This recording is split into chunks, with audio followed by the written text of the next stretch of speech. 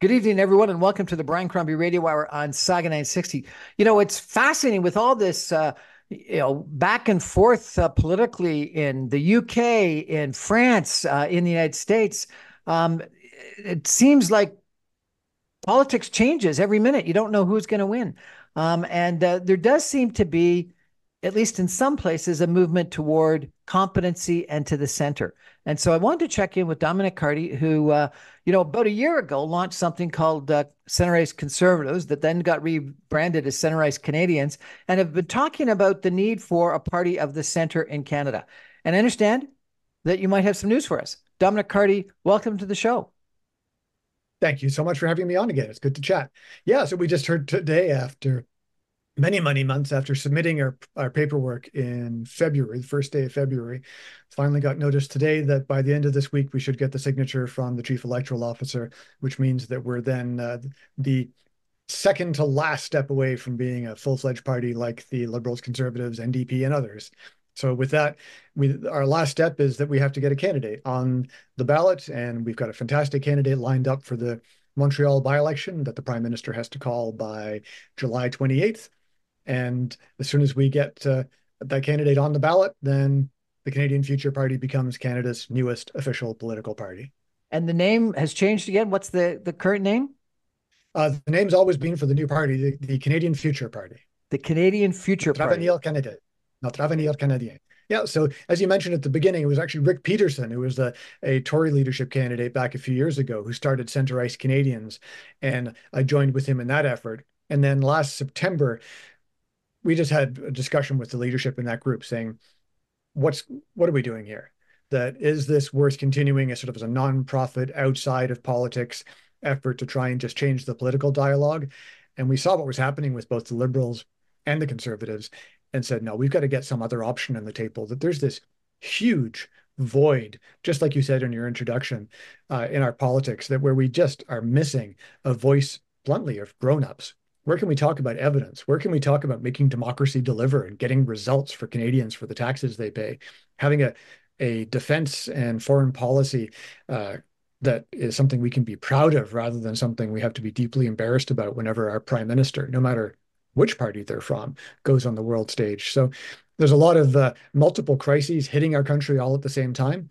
And the folks around uh, the table who came came up with this new party, we all agreed that look, whether you've got a background in Liberal, Tory, NDP, Green Party, doesn't matter.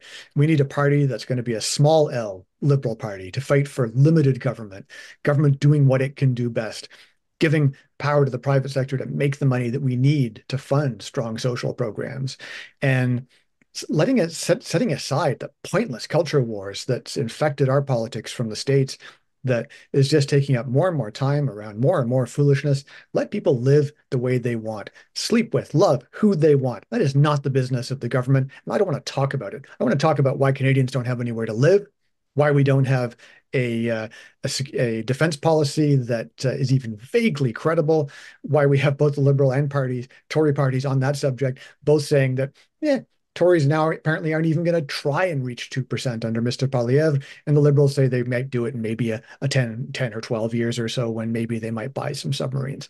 We've got to grow up. And I think there's, again, a huge void in the center of our politics. And I'm hoping the Canadian Future Party can help fill that void. Fantastic. Sounds exciting. Now, um, you've got a very relevant history in politics. So let's take a step back so everyone understands where you come from. You were a cabinet minister in the New Brunswick government, correct? Correct. I was education and early childhood development uh, minister in the government of Premier Higgs from 2018 to 22 when I stepped down. And why'd you step down? Point of principle, really. I've got a, uh, a big problem with politicians who say one thing in opposition and then do the opposite, not because new information comes to light, because I think that's we need more of that, more honesty with voters about how things can change. But there was an effort to really impose an ideological agenda that uh, took the progressive conservative party further and further to the socially conservative right to the point that in the election that's going to be coming up here in my province in a couple of months time there's now going to be a candidate for the progressive conservative party who literally has claimed publicly that she can raise the dead someone from an extreme uh, right-wing religious background and to my mind, this is the sort of nonsense that we need to be fighting against rather than encouraging to come into our politics. We we see far too much of that uh, across Canada and the States and elsewhere these days. We need to get back to, again, having an evidence based politics. So, where do you think the position is for the Canadian Future Party? We like to say it's not left, not right, but forward. That we talk about the left and the right as though there's these sort of facts of life, almost like the laws of physics. They're not. The idea of left and right came up over the last couple of hundred years when some countries, in a pretty small number, were trying to figure out how to make democracy work. And you had folks on one side who thought that the government could do everything, and the other side, government shouldn't do anything. And those two sides fought it out for a couple of hundred years. We know the answer. We can see it all around us in the world. You can see it in the European democracies, in North America, Taiwan, Australia, Japan, some other places where the rule of law, a limited government, a free market working to power that power an economy that gives you enough left over that you could run efficient government programs, anti-corruption initiatives, the rule of law. These are things that are part of a package that puts the left-right dynamic to bed. We know that having the government run nothing is a recipe for disaster. And we've seen that. I've had the chance to live in some pretty sketchy places around the world. You don't want to have a country that has no government. And this libertarian fantasy that you can just tell everyone to just yeah, look after themselves and somehow the things will all work out. I encourage folks to go and visit Somalia and see how that's working out for them. You end up in a situation like that in countries like that where you just have the rule of the strongest. And of course, that's why some of the folks who like to talk about freedom the most are the ones who are actually most opposed to it, most interested in just gathering power to themselves. And then on the left, you'd think that after 100 plus years now of experiments with communism and more radical forms of left-wing socialism, that that would also be obviously a failed disaster because humans are inherently competitive. Humans create markets even if you lock five people in a jail cell for half a day. People will start trading cigarettes or buttons or whatever else. Humans like to trade. There's nothing wrong with that. There's no equivalent between saying that just because humans are instinctively a trading species, that somehow that means we inevitably have to fall into a trap of just stealing and grabbing and selfishness that uh, some on the left would like to have us believe. We've shown in Canada that you can build that mixed system where you've got a strong public sector powered by a strong private sector, and that those two spheres re respect each other and build and grow off each other because you need a rule of law. You need good regulations, not too many, but enough to make sure that you can have an economy that thrives, that can create a, a, an appropriate and appealing a place for a country for people to want to invest their money.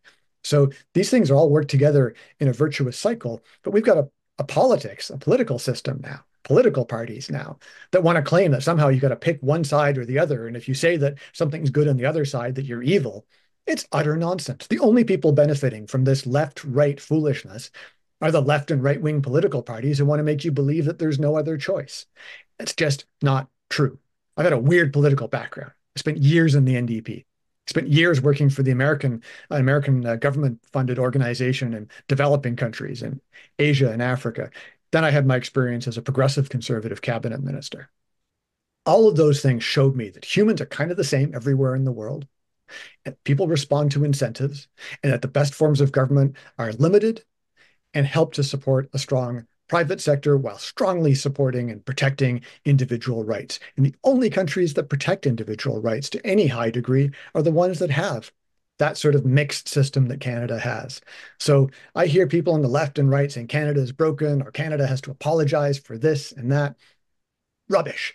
We need to start being proud of ourselves, proud of the fact that we are a country that introduced new ideas around human rights to a world that had never heard of them before, while at the same time giving most of our population access to levels of wealth that would have been unimaginable for kings 150 years ago. The sort of life that you and I are living, climate controlled houses, being able to buy any our choice of food from around the world at the grocery stores, even as those prices go up, and we absolutely have to deal with that. But we've got to stop thinking that we're living in some sort of desperate hellscape. We live in the best country in the history of this planet. We've got to start talking about that, not in a jingoistic way of saying that everyone else sucks, but saying that we have got a solid foundation here on which to build something even better. And we're not going to do that by either saying we're terrible or by saying that our history is something that we have to uh, apologize for in full.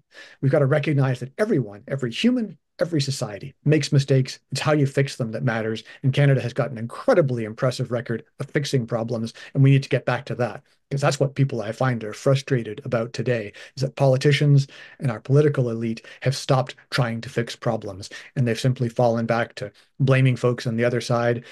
Then we wait a few years and then they switch again and we hear the same rhetoric from the other side and it goes on and on. When was the last time we had a government in this country that really fixed the problems Canadians cared about? I think the answer to that question is kind of obvious. And that's a, a gap in our system that the Canadian Future Party is hoping to fill. And we've got former Tory cabinet ministers like Peter Kent, former NDP members of parliament like Denis Blanchette. We've got liberal and green organizers. We've got people from across the country who've all been inside our political parties and know that multi party, small L liberal democracy is the way to go. They just don't have a political home. So we're building a house. So we're starting in that, trying to show that uh, we can solve our problems right from the beginning by building a party that's going to reflect our, our values and I hope give Canadians an appealing option in the next election. So, Dominic, in the last uh, conservative leadership campaign, my sense is that Jean Charest was running sort of uh, in in your your lane, um, and yet the Conservative Party voted in favor of Pierre Poilievre, who you know I, I, think is to the right of that, um, and uh, and he's leading by a mile in the polls right now. So you know, I'd like to believe what you're saying is true, but don't the polls suggest otherwise? Uh, no, far from it. Uh, Mr. Charest, first off, I was happy to support him as uh, as the choice uh, between he and Mr. Poilievre. Uh, the last time I was a, a, member of the Federal Conservative Party, very briefly, just to vote for Mr. Charest. Mr. Charest ran a very mainstream, old school campaign. Mr. Charest has closer ties to China than I would view as acceptable. The Canadian Future Party is going to talk about decoupling from China and other dictatorships as we need to build an alliance of democracies, something that lots of people from across the political spectrum and other democracies are talking about. We're talking about radical solutions to some of our governmental problems. When I talked earlier, I mentioned about making democracy deliver. I didn't see much of that in Mr. Charest's platform, and I think that's part of the reason why it was so easy for Mr. Poilievre to win so handily, is that the establishment, whether it's in the Liberal Party, the Tories, the NDP even, has become so stale. Their ideas have become so old their solutions so clearly disconnected from today's realities that they open the door to the populist extremists on the left and the right who are now dominating our politics. So, what I'm saying is that there's this broad group of people in the middle, including a lot of people who are involved in politics, who know exactly what's wrong. But our current party system isn't allowing those ideas to be expressed because our current party leaders benefit from the idea that if you go over to the right, then you're some sort of fascist. And if you go over to the left, you're some sort of communist. And that reflects the sort of nonsense debates that you see online and social media, which unfortunately is more and more where our politics is happening from liberal and conservative activists. And we're saying, look, there are great ideas the Liberal Party has brought to the table that has made Canada a better country. And there are equally great ideas that the Conservative Party, in its different incarnations, have brought to Canada to make this a better country. We gain nothing from disparaging and denigrating and insulting each other based on who our parents voted for. What matters to me in 2024 is what options are our Canadian political parties going to put on the table to defend our Arctic and our sovereignty, to help prepare to meet our alliance commitments to join with our NATO partners to defend the free world against the rising threat of authoritarian dictatorships in Russia, China, Iran, North Korea? What are we going to do to make sure our healthcare system can actually deliver? Because when I go and talk to high school and university classes and ask those kids, are you comfortable paying 40 odd percent of your salary in taxes so that you can receive healthcare? And the answer I get back nearly universally now is no, because they don't feel they can access that service. Why would anyone want to pay for something they can't get? So we've got a problem of democratic delivery across so many files. We've got a problem of incompetence when it comes to uh, the incredible damage that the Trudeau Liberals have done to our immigration system over the last few years with the uncontrolled uh, dismantling of our temporary foreign worker and student programs that have led to a crisis that has done more to damage Canadians' acceptance of immigration than the most right wing bigot could ever have uh, dreamed of. So there are serious challenges to these various problems that I am 100% confident, sadly, that we're going to go into the next election with the liberals and conservatives offering nothing more than warmed up, overbaked, old school sound bites around how one side's going to spend much much more money that we don't have. The other side's going to claim that all oh, the Tories, they're evil. They want to destroy Canada. They're like Mr. Trump. We've got to get over this. We've got to start talking about solutions. So when it comes to healthcare, let's start talking about the fact that the reality is in Canada is that our healthcare system is already semi-private. Our doctors in most provinces are not public servants. They're small business people, medium business people in some cases. How can we make the argument that it's fine to have the nationalized healthcare system we have right now, operating with doctors operating as private business people, but it's not okay for a knee replacement clinic or a hip replacement clinic to operate under the same terms? We've got to start having these conversations that really take on some of the sacred cows that we've had in politics in Canada for a long time. Talk about supply management. I've already mentioned defense and the fact that we need to deal with procurement issues. We've got decades of broken promises to First Nations that have involved vast expenditures and little in the way of results. We have got to start talking about results and delivery. And that means clear plans, it means timelines, and it means budgets.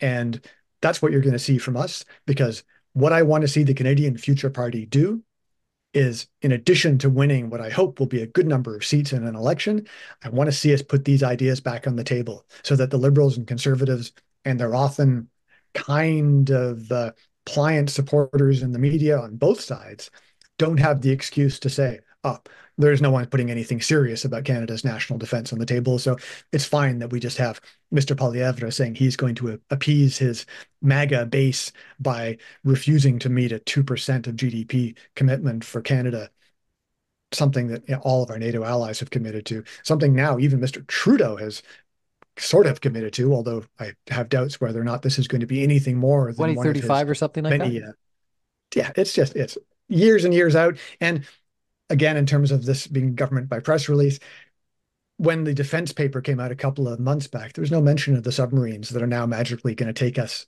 to 2% in an unspecified number of years. We don't know where we're going to buy the subs from. We don't have any of those details. So it is a sad thing when we have our defense policy being driven by Mr. Trudeau, who responded to pressure from our NATO allies and in desperation at the NATO summit last week just came up with this new submarine idea. I don't necessarily think it's wrong. I just doubt that it's a policy. I just think it's a press release. And Mr. Poilievre, who from his side is abandoning the idea of defending democracy by saying he can't commit to going to 2% of our GDP because our fiscal situation is so bad. I got news from Mr. Poilievre. Democracy isn't free that old George W. Bush line, which, good Lord, I never thought as a when I was a young NDPer that I would ever be quoting George W. Bush approvingly, but freedom isn't free. Ukrainians are bleeding and dying for us right now. We might want to notice that we have a massive, functionally undefended border across our Arctic. And we might want to notice that the Americans, who we are relying on for our defense, are increasingly irritated at the free ride that they're having to offer us. And we might want to think about what a Trump Vance government in the US might do in terms of undermining security for the North American continent, and essentially saying, as Mr. Vance has clearly said in relation to our enemies overseas, who I believe, unfortunately, he sides with, that uh, he doesn't really care about Ukraine. He doesn't really care about other countries. He's interested in America first. We can never say we weren't warned about these things. And one of the, my biggest frustrations is that Mr. Trudeau and Mr. Poilievre have been fundamentally dishonest with Canadians by not being clear with us about the multiple threats that our country is facing and the fact that is, of course, linked to why they're not talking about it, that they've got absolutely nothing in the way of new solutions to fix these problems. Instead, we're going to hear an election based on culture war, rage farming, with one side going after the other about various issues that aren't on even on our election agenda, but will largely be copied from the United States. I'm tired of US style politics. I want a Canadian politics, Canadian solutions, and to make Canadian democracy deliver. We're chatting with Dominic Cardy about a new party, the Canadian Future Party, that uh, he's planning on launching. He just got uh, approval from Elections Canada today. We're going to take a break and come back in two minutes with Dominic and talk a little bit about both the politics uh, and the policy of uh, of his proposal, and maybe uh, also some of the personalities. Stay with us, everybody. Back in two minutes. Interesting conversation about sort of the hole in the middle of the Canadian political spectrum, uh, in the center. And is Dominic right that there's an opportunity for a brand new political party? Stay with us, everyone. Back in two minutes.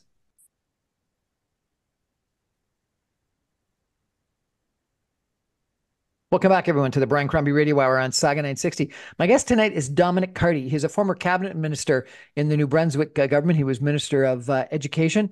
Um, and uh, I'd spoken with a couple of times about uh, an organization called uh, Center Ice Conservatives, Center Ice Canadians, and this sort of need for someone in the political spectrum to represent the center. Uh, Dominic, I want to ask you you know, I I think of myself and a lot of people I talk to in business as a fiscal conservative and a social progressive, um, and uh, and a lot of people will comment that they feel, you know, left the parties have left them. That the Liberal Party has moved far, too far to the left, the Conservative Party has moved too too far to the right. Um, and uh, in business, a lot of people you know, as you say, don't think we have, as Pierre Trudeau said, uh, any business in the bedrooms of the nation. Uh, and so, therefore, very supportive of some social progressive uh, issues, um, gay rights, uh, gay marriage, uh, you know, abortion rights, etc. But at the same time, um, believe in limited government and uh, more fiscal sustainability um, and more of a prosperity, productivity agenda than we may have currently. That said, we feel like politics have gone a different way. Um, and you know, you take a look at uh, you know the Conservative Party. Some people think that the Conservative Party has been taken over by the the trucker convoy and uh, and the PCP uh, uh, and uh, not PCP, PPC. What what's the the Maxime Bernier Party? I apologize. Um, but people, I feel like I'm on PCP when I read the uh, the People's Party's platform. So fair fair fair enough slip of the tongue there. Sorry, I apologize. Um, and and and some uh, you know fairly right wing um, points of view, as you say, uh, you know, socially uh, um, right wing uh, attitudes, socially conservative attitudes, and then you know the Liberal Party to stay in power has clearly had to enter into this supply and confidence agreement with the NDP that's taken the Liberal Party uh, to the to the left. Um, uh, how far and how much um, because of the NDP agreement, or they would have done on their own, um, is uh, is a matter of uh, discussion, and it's left this hole. But it would appear that the Republican Party in the United States has moved significantly to the right. Uh, in the most recent election in uh, in the UK, you know, the Reform Party, um, which is a brand new right wing party, got almost as many votes as the old Conservative Party and and split the vote on the right, um, allowing the, the Labour Party to take over. Uh, in France, uh, Marine Le Pen's uh, right wing party has had precedence. In Italy, uh, a right wing party has taken over. In in Hungary, a right wing party has taken over. Is there really an opportunity for the center? Like, if anything, I was looking when we first started talking a couple years ago at Macron in France as the best example of a brand new party in the center of being successful. And look what's happened to him and his party. They've gone down to uh, to defeat. So have people moved to the extremes? Or do you really believe absolutely. people are still in the center? Well, the, the parties have moved to the extremes, and if the only options on the table are the parties that are already existing, then you've got no choice, and that's why you end up with you know, people like you and me end up being in that position as social liberals, fiscal conservatives of having no home. I don't want anything to do with this American culture war nonsense of going on about you know, when women have their periods and crossing their travel across state lines to prevent them from getting abortions. It's disgusting. I don't care about who people sleep with or love. We have a legal system that should protect people's rights, and we shouldn't need to talk about it the rest of the time. We should just make sure it's defended there as part of our legal system, not our politics on a day to day basis. And that's an accusation that I'd level against the extremists of the left and the right, because both sides love to get into these sort of culture war, war battles, because that's a lot easier to talk about than it is to talk about, as you were saying earlier, how do we fix our productivity gap? So you look at some of those other examples. Uh, I take I put a slightly different spin on a couple of them. The I know some folks, including a couple of our friends who actually got elected as Labour MPs last week. The Labour Party under Jeremy Corbyn, the leader before the new Prime Minister Keir Starmer, was a seriously hardcore left wing extremist who ended up by turning the Labour Party into a vehicle for anti Semitism and you know, bizarre and totally failed economic ideas. Fortunately, the good thing with uh, the disorganized left is they usually don't win elections. So he never won an election. Keir Starmer brought the party back to a problem solving approach, not being dogmatic, not being crazy left wing in that traditional sense, but talking about new ideas. And yes, they're absolutely the Reform Party came up and uh, certainly got a chunk of the vote and five seats, but the Labour Party won one of the largest majorities in British history. Mr. Macron uh, won election and re-election on the sort of platform we're talking about. And despite that move to the extremes and what looked like a sure win for the extreme right wing uh, party led by Ms. Le Pen in France, pushed them back into third place in the final round of the recent uh, legislative elections. So, but the only the way, there, the only way, apologize for interrupting. Let's talk about some of these. The only way that mm. he was able to do that was by having a strategic agreement between uh, his party and and uh, the left uh, such that they wouldn't split the vote, and uh, and and you know they ended up uh, um, succeeding uh, mm-hmm. and uh, and and not splitting the vote uh, in in the in the British election, in the UK election. My understanding is that the Labour mm-hmm. vote only went up by a small amount in absolute terms. What ended up happening is the conservative vote got split between the conservative and the reform, and so splits work negatively uh, and uh, and unification or strategic voting. And and you know that one of the nice things about having a two stage uh, uh, ballot process in France is you get to think mm-hmm. about uh, you know who the leading candidates are, such that you can actually have sort of what. Uh, so many people in Canada always talk about strategic voting. It's it's it, they they did it by definition. So aren't you going to, by definition, fragment the political system even more? No, because I don't see unless uh, unless you've heard of anyone else saying otherwise. Tell me the party that's talking about the need to go to two percent spending on defense within a couple of years, and then a ten-year plan to get to three percent or up. Our NATO partners are going far beyond. Poland's going to be up at five percent. Tell me the party that's going to make that pledge that we are not going to touch social issues, that we are going to stop talking about those issues, that we are going to defend rights and focus on their enforcement. And that that means as well a focus on enforcement from the police side across the country so the Canadians can live without the fear that's come from in recent years from uh, police forces that increasingly don't enforce the law because there isn't the political will to support them. Tell me which party is going to talk about seriously reforming the Canada Health Act so we can deal with the real reasons why we have such a shortage of doctors in this country, which is protectionism around credential recognition, which is around the misuse of hospitals as uh, and restrictions on the access to operating theaters, these are issues that no one else is talking about that could actually fix these problems. On the left, they're going to talk about how we should spend more money as though that magically fixes problems. Of course, you need money to fix problems, but the idea that spending on its own gives you good results is just not true. But they can get away with that sort of nonsense argument because on the right, you'll have people who'll say, well, we're just going to cut costs and that's going to somehow make things better.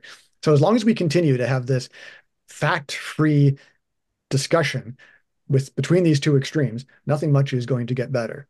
So I am making no apologies at all for putting a new political party on the table in Canada in 2024. As you said a couple of times through this discussion, there's no one else talking about these problems. And if those ideas that the Canadian Future Party wants to put forward in the election, strong defense, discussion around Canadian values, being proud of them, recognizing that pride comes in part from our ability to solve problems as we've demonstrated since Confederation, healthcare reform, dealing with the affordability crisis, a radical plan around immigration. These are things we're going to be fleshing out in the next few weeks as we get ready for the Montreal by-election. That's going to be our first electoral contest we're going to be talking about things no one else is talking about. The other parties think that we're picking up ground. Maybe they'll start talking about those ideas. That's democracy. That'd be just great. Our ideas are open to be stolen by anyone at all. It's the way things. Are Are you going to be able to nominate enough candidates? Uh, are you going to get invited to uh, participate in the debates? Are you going to get enough media? As I found recently, if you don't get the media attention, if you don't get invited to debates, it's almost a self fulfilling prophecy that uh, you're not considered uh, relevant. Oh, for sure. And they're absolutely huge. Uh, you sort of mentioned you know, how our system is biased in favor of the existing parties. I am under no illusions about the incredible obstacle ahead of myself as leader and my party as soon as it's registered. Because but just to correct you on something, we we are expecting to hear this week on the final approval, uh, rather than having heard yet. We just heard they're going to let us know by Friday. But make no apologies for it, because again, there's no one talking about these ideas, and to my mind, a Liberal Party elected that continues with the endless series of announcements without any real follow through that we've seen from Mr. Trudeau, or the weird American rage farming that Mr. Poilievre is engaging in because it generates online clicks, they're welcome to continue that sort of politics. There are more and more Canadians I hear from who are just fed up with it and want to see something different and better as well. Because it's not just about being new, it's about having serious plans. And that's why I'm really proud that we've got people with legislative, including cabinet level experience, sitting around the table already helping to make sure that we're well prepared for the campaign. We're going to do our best to nominate as many candidates as possible, something that uh, will also make us a bit different. If there's any riding in the country where there are already incumbent MPs who are clearly doing exactly the sort of thing we talked about, we have no issue not running a candidate against them. It's not about party, it's about the country. And you're going to see that focus that my dream for this party would be that we were able to win power at some point in the not distant future, hold it for enough time to be able to change our institutions, and then we can go back to the more normal politics we're used to. But we need a radical change right now because things aren't working. Not that they're broken, but they're not working. And so we got to fix them, not knock them down. So if I had to sort of guess as to where your target market is, it would be suburbia. Um, I, I, think that uh, the the rural uh, communities are going to be too conservative for you to dominate and uh, be successful, and and urban maybe too uh, new too NDP or liberal oriented. But uh, suburbia might be attracted by your policies. Uh, is that a correct uh, sense of target positioning? Uh, we, we did a poll recently, just uh, which we tried to do a few sort of surveys every now and again, just to give a sense of where we are with with public support uh, and just even awareness of the party. And we do well in Atlantic Canada, which is probably not surprising because I'm heading up this project and I'm somewhat well known in, in the region. And otherwise, we absolutely do well in some of those communities you talk about. But there are surprising pockets, uh, for example, Alberta, which I think is probably because of Albertans having seen the consequence of having a left and a right wing government of going, my God, can't we have someone who's at least able to you know, sit down and talk with folks from both sides? So I think that uh, there is appeal across the country for an idea like this. You've got about one in two Canadians who say they're ready to vote for a centrist party who identify as being broadly in the middle. We've talked again about how that's slightly a yeah, sort of an illusory term because you know what's the middle for you might be slightly different for me and for someone else. But around this idea, evidence-based, strong on defense, problem and uh, solution oriented, and having good plans and the right team of people to put them in place. I just don't see the other guys talking about it. We're also talking just uh, to, it does tie into that. I mentioned a change in culture that in addition to the change in the way we talk about our politics during election campaigns, we also need to some, see some changes in the way the parties themselves operate. And my decade or so of experience working internationally, with dozens of political parties from around the world, I hope will put me in good stead to be able to come up with some ideas there.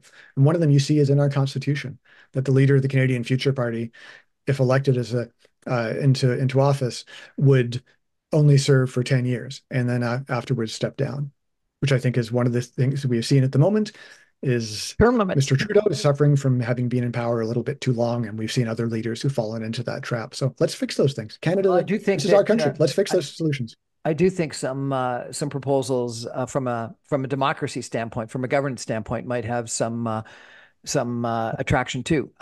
But one of the things I really want to talk to you about, which I think you've touched on, but I think is really critical, particularly in the last UK election, is competency. Let's take a break uh, for some messages and come back and chat a little bit about competency in government with Dominic Cardy, uh, who's launching a new party, the Canadian Future Party. Stay with us, everyone. Back in two.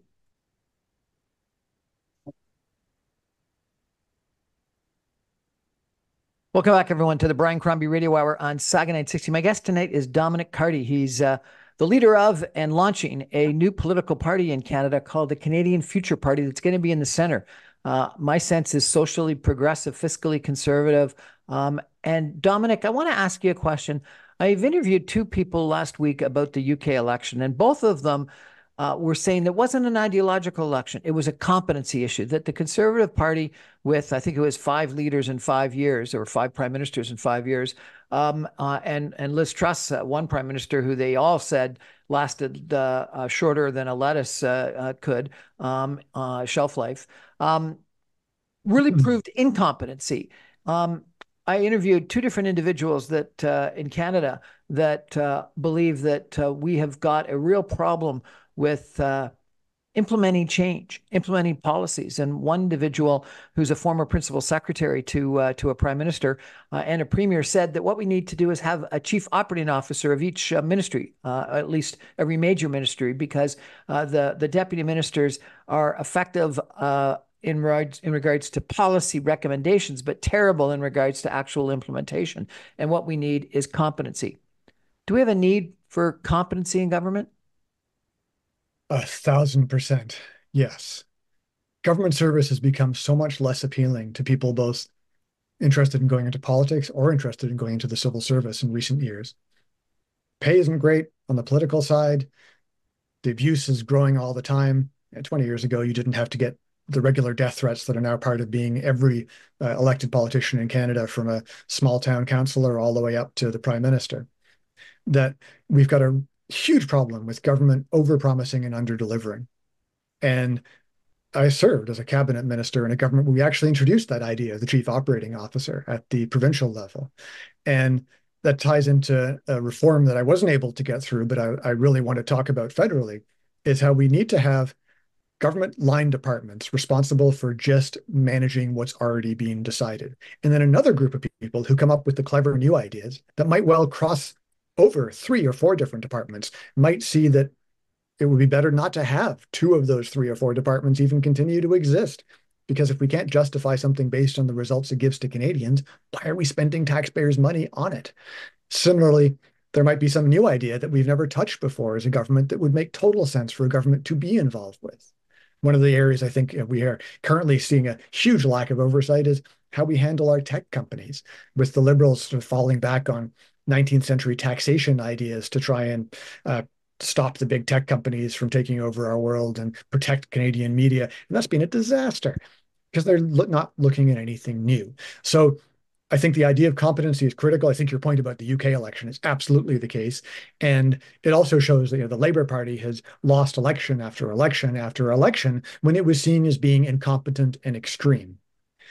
They ditched the extremism of Mr. Corbyn, replaced Mr. Corbyn with Mr. Starmer, who put a massive emphasis as the country's former chief prosecutor. So he certainly came to his uh, his sort of medal of competency. Honestly, he worked to put together a team of people. He looked at them and go, you know, I can see these people running the country. I can imagine this man in cabinet, this woman serving in a senior position, and the country rewarded them the other week with a massive majority. So it's uh, that's exactly the sort of approach that I want to see my party take, which is candidates who are able to, if they have the honor of being elected, actually hit the ground running, serve as MPs. If we are given the incredible honor of serving in the cabinet, to be able to handle those responsibilities. So something else we're working on behind the scenes is the strictest vetting procedure ever used by any Canadian political party not just testing for competence, but also ch checking for any possible hint of foreign connections that could be damaging to Canada's security, something that we've certainly seen discussed a lot in Ottawa the last few months. So things like that, there's lots of opportunities to innovate. It's just the old parties have no incentive to do it. The left wing one yells at the right wing one. They wait a few years, switch position, do the same thing in reverse. It's not working for Canada as you said, we have a growing competency problem because people don't want to work in a system like that. And if you're an MP, why would you sign up as an accomplished, smart person who hopefully believes they've got something to contribute, to give back to their community, to their country? Why would you stand for office just so you can be a trained SEAL following the orders of your party leader or the prime minister to vote the way they tell you, regardless of your local community, regardless of your platform sometimes? That can also be changed. We're talking about the UK. In the UK, backbench MPs can vote against their party leaders. That's our system. We just had some party leaders 100 or so years ago who just kind of forgot to implement that part of it. There's no change required except for the will, the political will of party leaders to say that if something is in our platform, we expect you to vote for it. Would you, you allow caucus uh, platform, members to sense. vote out their leader? Pardon me?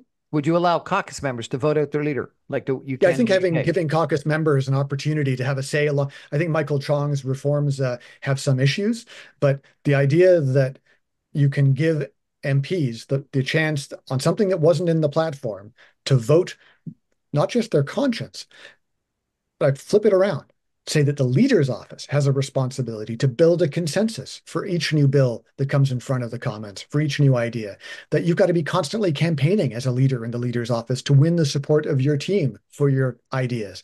Again, if they're in the platform, I think you should vote for them because you're all elected on, on under that document. But for anything new that comes along, and Lord knows we've seen lots of things pop up after elections that no, no one expected, whether it's wars, pandemics, or the other uh, assorted horsemen of the apocalypse who are all hanging around in our front yard at the moment.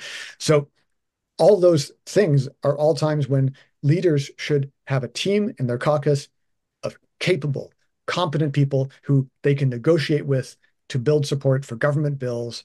And that should be how we make decisions, not forcing MPs to vote for their party every single bill without question leadership should be earned in a party on an ongoing basis. And for anyone who says this is some pie in the sky idea, you know, who's been doing this, it's pretty big success for several hundred years. The Westminster system as used in the UK, which we literally copied our system from. So there's no reason we can't do this except for the lack of will from political leaders who kind of like having a caucus they can just tell what to do all the time. It's a lot easier that way, but it leads to worse outcomes because you miss all that local knowledge and expertise. You miss that competency from your writing level MPs who can say, you know, this might sound good, but it's just not going to work here. I got to so ask you about greater, the economy. Greater legislative democracy works better for democracy. I got to ask you about the economy. Uh, our former uh, Minister of Finance has written a book saying there's not a prosperity agenda or growth agenda in Canada. There was uh, quite a uh, large uh, article in the Globe Mail uh, about a year ago that said that one of the biggest problems is that historically we've always had a partnership, whether in the Liberal Party or the Conservative Party, between uh, political people and financial people, Bay Street uh, business people. Uh, and they talked about Harper and Flaherty. They talked about Martin and Chrétien. They talked about uh, you know Trudeau and Turner and others. and that now both in the Liberals and the Conservatives, we only have career politicians. we don't have people in cabinet and or sort of you know in senior levels in partnership with the Prime Minister that have got real world business experience. Our uh, gross, uh, uh, our, our, our, median uh, uh, disposable income is now supposedly 40% of the United States. Our productivity, prosperity has declined fairly dramatically. Uh, real, real incomes haven't raised. What are you going to do from the economic standpoint? And do you think you need to really have business people, economically oriented people in your party and in your cabinet? Well, absolutely. You've got to have people from all different walks of life, and that's the point. But more than just having them there, which has been where Mr. Trudeau's approach begins and ends with just the he wants the photo op, he wants the picture. He wants to be able to say, oh, look, gender balanced cabinet, it's 2015. I don't think Jody Wilson-Raybould or Miss Petitpas Taylor or now apparently Miss Freeland, who looks like she's about to be added to the list, of women thrown under the bus by the prime minister would necessarily think that his commitment to gender equality, to pick on one example, has shown itself to be anything other than uh, a bit of performance art. So what we need is for prime ministers and party leaders to have to listen to their MPs, which gets back to the point I was just making, that until we change the party discipline system, you could have a the most successful people in the world from every single discipline sitting around a caucus table. And if they don't have the right to vote differently, to vote against their leader without being booted out of caucus, then they are unlikely to speak truth to power. That's just the nature of human beings. So first, we got to make some changes in our institution. Easy to make. Those again don't even require a single piece of legislation. They require political will on the part of party leaders. And I can promise you that if I ever get the honor of leading my party in the House of Commons, that's what we'll do. Because the consequences of this centralized politics is this growing extremism. And it means that we are abandoning some of the themes that used to be central to federal politics, like making sure our economy works and making sure we are increasingly productive. We have a liberal party that's not even committed to growth. We've got people talking about degrowth on the political left. The idea of somehow we shrink, that that's going to make our life better. It's one of the most fundamentally anti Wasn't that an issue back in the 1970s, issue. the limits to growth? Well, except we sh- we showed comprehensively with the massive explosion in wealth in the years and the decades since then. That was utter nonsense. Humans are absolutely capable of fixing our problems if we're given the space and the tools to do it. And that's what I think we're talking about here is fixing the productivity gap. We've got to look at what's causing that. start with, it's being caused by excessive levels of regulation that do nothing to protect the health and welfare of workers or to make sure that uh, businesses compete fairly one with the other. In fact, we don't do any of that when it comes to, for example, supply management, where we give control over vast sectors of our economy to tiny numbers of players who often have nothing more to commend them than the fact their families have been in whatever line of business they're talking about for decades, whether it's fishing licenses, agricultural uh, protectionism with the supply management systems, our airline and telecom sectors. We need deregulation in this country and not deregulation along a Reaganite line where we just strip away protections for workers, but one where we open up competition because competition is what drives down price and cell increases phones, quality. cell phones. Please open up cell phones. Well, exactly. It's it's insane. I always I use this example. Twenty years ago, twenty one years ago now, I was living in Cambodia, and you know the film Apocalypse Now when they go up the Mekong River up towards Laos. And this is presented as being like the furthest place you can possibly get from civilization on the planet. I was up there 21 years ago, and I had a cell phone that I bought for 15 bucks and a SIM card that I paid a buck for. And I had, I don't even know how cheap the actual per minute use cost was, but it was negligible. And that was 21 years ago in the middle of the rainforests in northern Cambodia. Why on earth are we still in Canada? Accepting in 2024 that we have these tiny number of well-connected people who get to decide how we access some of the most important tools we use every day. Why do we tolerate? I'm sitting here in Atlantic Canada where I routinely drive to Ontario because I know I'll get there reliably. Whereas if I have to fly Air Canada, I could easily be waiting a day or two day. So far, my record is three days of waiting to get on a flight. And when I get on that flight, I get to think about the fact that I paid more to fly from Fredericton to Toronto than I can get a flight from Toronto to Bangkok and back round trip. That The is competition. not right. It's the competition. But what do we have? Oh, well, our standards are high to protect Canadians. Protect us from what exactly? We have standards around the world around some of these issues where we can look and be inspired by what other countries have done, how they succeeded. So we don't have to reinvent the wheel here, but we got to start talking about how the wheels are stuck right now and get them moving again. Dominic Cardy, this is really exciting and, and interesting. If people want to follow your party's progress, uh, get involved, learn what's going on, is there a website? Is there a Twitter? What what should people do? ourcanadianfuture.com and uh, be happy to hear from folks and something i've done my entire time in politics including when i was a cabinet minister if people are interested and want to chat reach out to me directly. If i get elected i might not be able to continue doing this at a federal level because it's more people than provincially but you can reach out to me at my phone numbers 506 238 5550 and you can reach me on my email which is leader at ourcanadianfuture.com and uh, our website should be easy to find. Just give me a call send me a text drop me an email. Happy to chat. This is about canadians working with canadians to make our country better Dominic Cardy, leader of the Canadian Future Party. Thank you so much for uh, joining us and uh, giving us a sense of uh, some really important policy issues uh, and uh, I think some competency uh, and prosperity issues that are equally, if not more important, frankly, and the excitement of potentially something to fill the center of our political spectrum where I think there's a complete hole right now for people like me that are fiscal conservatives and social progressives. So I really appreciate you joining us. Thank you. We're going to take a break, a final break, and come back with some of my own comments in just two minutes. Stay with us, everybody. Thank you, Dominic.